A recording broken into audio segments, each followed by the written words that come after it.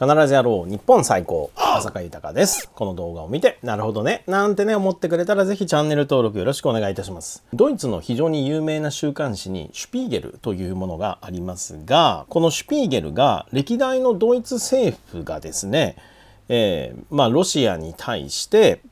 ねまあ、天然ガスをどんどん依存していくという政策をこうやってきたということ、まあ、これをですね誤りであったということを正面から取り上げるようなこんな記事を掲載していたということがあってですね、まあ、ちょっとこの記事内容にも触れながら思ったところを述べてみたいと思います。ドイツのまあ左派政党といえばいいですかね、まあ、今はま中道左派という感じで、まあ、割と穏健な感じの政党だったりはしますけれどもドイツ社会民主党というところがあります。でこのドイツ社会民主党は、まあ、源流はマルクス主義から来てたりっていうこともあったりするので、まあ、そういう社会主義っていう考えというものに対しても、まあ、割と親和性があったりするような、まあ、そういうことがあって東西ドイツがこう分かれていたっていうね、まあ、そういう時代にあってもえー、ソビエトロシアに対して割と融和的な姿勢を持っていたというのがですねまあ、その政党の中の性格としては言えるかなと思います。でそして、まあ、実際、まあ、今から、まあ、50年以上前になりますけれども1969年の段階で当時の、まあ、ブラント首相、まあ、この人も、えー、その社会民主党 SPD の、えー、党首だったってことになるんですけれども東方政策ということを言い出して、まあ、ドイツがあるとで、まあ、ロシアがあると。でこのロシアに対して、えー、どう対応していくのかということでですね、えー、これを東方政策って言ったんですけれども、まあ、非常にこう融和的な政策っていうのを打ち出したということがあったんですね。当時はドイツもまだ西ドイツと東ドイツに分かれて、まあ、ここでこうぶつかってるようなそういう関係もあったんだけれどもこの西ドイツにおいてロシアとの関係を良くしていこうではないかということが、まあ、行われてったわけなんですね。で具体的には何かといったらこのロシアにあってもシベリアの方にある、えー、この天然ガス田というものをこれをドイツのですねこの技術力とかっていうものをこの提供する中で開発を行うと。でその開発を行ったものをまあ安価な値段でえー、その西ドイツの方に持ってくると。まあ、こういうような形で、まあ、お互いにウィンウィンの関係を築いていきましょうと。まあ、こういう感じだったわけです。で、これは、えー、天然ガスというものをその大量に使ったりする、まあ、鉄鋼であるとか、それから化学であるとか、まあ、こういうところにおいては、まあ、こういうプロジェクトというのはまず大歓迎ということがあったりしたしでまたそういうことに基づいてさまざまなプロジェクトというものが立ち上がるということがあればですねまあ、銀行なんかにしてもこれ大いなるビジネスチャンスが広がるっていうそういう側面もあったわけですね。で1970年代になるとオイルショックというものを経験してまあ一気にですねえ原油価格がこう4倍に引き上がるみたいな感じのことがあってこう世界的に震撼させるみたいなことがあったりしたわけですけれども、まあ、そういうことをこう経験していきながら実はね中東よりもロシアの方が信頼できるんじゃないかみたいな、まあ、こんな感じの考えというのが、まあ、当時の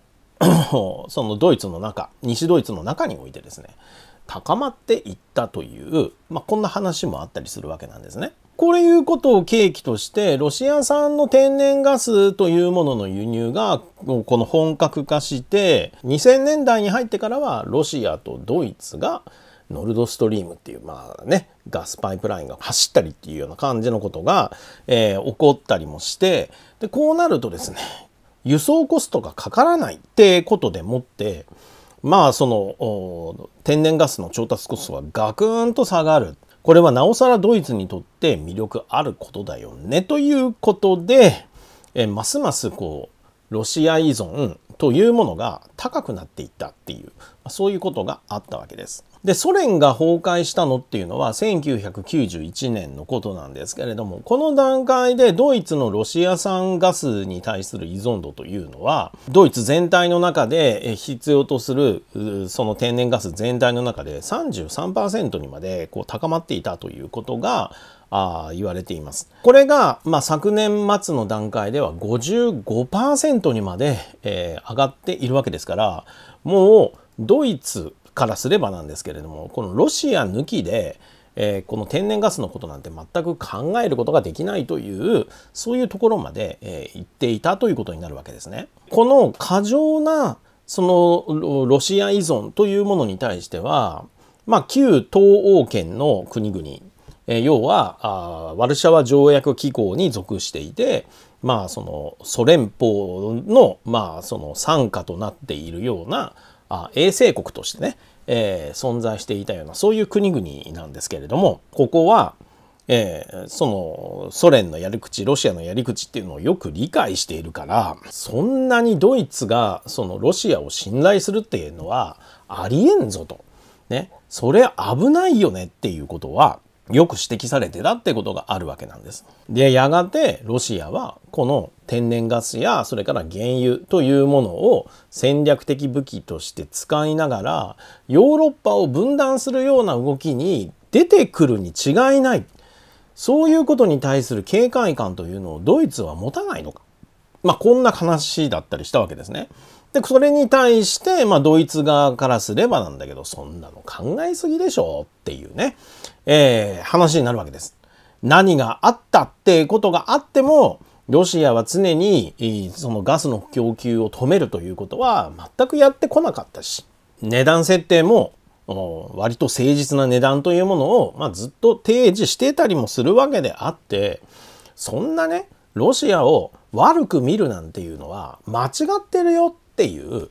ね、え過剰な心配だよみたいなことを、まあ、ドイツの側はこう言っていたっていうことがあるわけなんですね。で同じような懸念というのは、まあ、アメリカ側からも、まあ、示されていて、まあ、特にこれについて、え厳しく噛みついたのがあトランプ大統領だったってことがあります。そんなロシアにばっかりですね、この天然ガスの依存を高めるようなことを、これはやめようよと。もっと調達先を多様化しましょうよと。まあ、こういう話だったわけですが、まあ、トランプ大統領はさらにですね、まあ、ドイツとロシアを結ぶこのノルドストリームというこのパイプラインがさらに増強されてもう一本ね通るよということでノルドストリーム2というものがこう始まろうとしていたことに対してまあ徹底的な妨害をね、まあ、加えたなんてこともあったりしました。で当時これはものすごくこうトランプ批判に、えー、つながって、え、報道されていて、まあ、今回ですね、えー、この歴代のドイツ政府のあり方について批判しているこのシュピーゲルとかもですね、トランプ批判をバンバンバンバンやっていたっていうのが実際だったんじゃないのってね、えー、私は思っちゃったりもするんですけれども、まあちょっとそれは置いておきましょうか。まあ、ともかく、シュピーゲルは、まあ、その辺のことはちょっと、えー、もう過去のこととして忘れちゃったのか、なんだか知らないですけれども、プーチンがそういう、えー、ロシア依存がこう高まっているという状態を悪用して、とんでもないことをやるかもしれないみたいな感じのことは、まあ、ドイツの人はですね、えー、全く考えなかったということになるわけです。で、シュピーゲルは、ノルドストリームというものは、もともともうプーチンのアイディアから始まったものであり、ね、えー、彼の側近が掌握してきた事業でもあって、このノルドストリームというものは、もうプーチンが最初からですね、もう地政学的な武器として、その考えてこれを使おうとしたんじゃないかという、まあ、そんな見方まで、えー、示すところに今来ているんですね。で、シュピーゲルは、まあそういうことを考えた上で、ロシアというものは信ずるに値するパートナーとなっていて、政治と経済は別だよと。そういう感じで見てたんだけれども、これっていうのが、まあ、要は正規の大嘘だということがはっきりして、で、そのドイツの犯した誤りっていうものがですね、まあ今となってえー、これがま噴出しているというんだという、まあ、こんな感じの結論というのを、えー、挙げているわけです。で日本でですね、まあ、福島第一原発事故というものが起こってまあもともとそのドイツにおいてはその環境論者みたいなものは強い主張を持っていたんですけれどもあの、まあ、原発事故というものを受ける状態の中でですね、これがますます強い状態になったことで、もう一気に脱原発に足をこう踏み入れないとダメだみたいなところにバーンと行ってしまってですね原発の危険性を過大評価する中で、えー、原発稼働というのをもう一気にやめていくんだという道をこう選択したわけですね。でその実どうなったかといったらロシアの天然ガスに対する依存というのがガンガンガンガンというふうに上がっていって安易にエネルギー自由化という路線をまあ引いたことによってエネルギーの安定供給というものができない状態になりでそこをさらにロシアに付け狙われるというまあそんな状態になったんだということになるわけですね。ではですねこのドイツの状態から得られる教訓というのは何だろう？これは日本としてやはり学ぶべきものがあるだろうということになってくるかと思います。かつてのドイツが陥っていた誤りというのは経済協力を行えばあるいは経済的関係が密になればお互いにその経済的関係を崩したくないと考えることによってたとえ相手が共産国であれ独裁国であれ信頼関係を結ぶことができるんだというまあそういうふうに考えていた。そしてそういう状態に持っていくことがその戦争がない平和な状態に結びついていくんだというふうに、まあ、信じてたということになるでしょう。そしてそれが完全な誤りだったということが、まあ、今回のそのロシアによるウクライナに対するこの侵略行為によって、まあ、明らかになったというふうに見れば良いのではないかということになるわけです。そしてこのお話というのはドイツとロシアの話というだけじゃなくって我が日本とそれから中国や北朝鮮とのこの話においても同じことが当然言えるっていうことになってきますよね。すなわち、経済協力をどれだけやろうが、あるいは経済的な結びつきがどれだけ強くなろうが、そのことによって、この経済的関係を崩したくないからということを理由にして、共産国である中国であったり、北朝鮮であったりということがですね、日本との争いを避ける方向に行こうなどということは、おそらく全く考えないということなわけですよ。日本の側としてはそういう関係をつないでいけば、その自分たちの経済的利得というのを失いたくがないということがあるから、えどうしても相手に対して依存的になっていくんだけれども、ところが相手の政府は別にそういう経済的利益というのを一番上に置いているわけではなくて、自らの独裁の政権基盤の安定ということが、それよりもはるかに上位に来るという、まあ、そういうあり方をしているわけであって、そんなところと、むしろその経済的関係を強化すればするほど、中国や北朝鮮からすれば、ほら日本がどんどん経済的な関係を強めている。だったら日本というものをよりコントロールしやすくなったというふうに考えてゆくそういう社会体制にあるということになるわけですね。で、そもそも日本と中国との関係とかっていうのを考えた場合でも、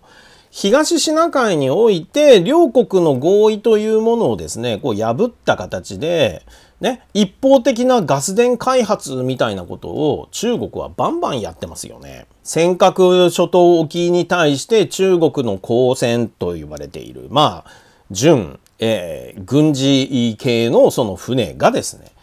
バンバンこうやってくるということを、もうこれ、